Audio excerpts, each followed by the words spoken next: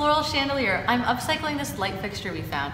I've got some terracotta pots I'll be gluing to where the lights once were. And then I'm gonna be giving it a coat of paint here. I've got some copper spray paint. I love copper this year, but this is a great opportunity for you to bring a pop of color into your garden or into your indoor space. So don't be shy here.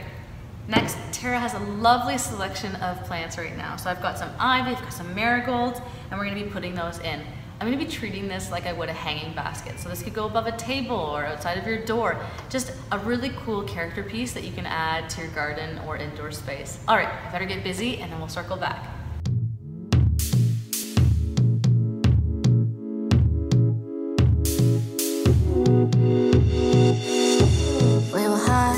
All right, so we have everything planted and look how cool this turned out.